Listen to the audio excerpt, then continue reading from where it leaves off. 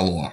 Ничего себе. Кульякане. Немедленно вспоминается художественный фильм «Железная хватка».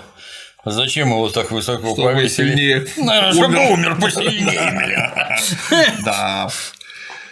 Там Лебовский от- вообще по полной программе. Лучше. И вы что, будете стрелять человеку в спину? Ну, надо же как-то дать понять, что мы настроены серьезно.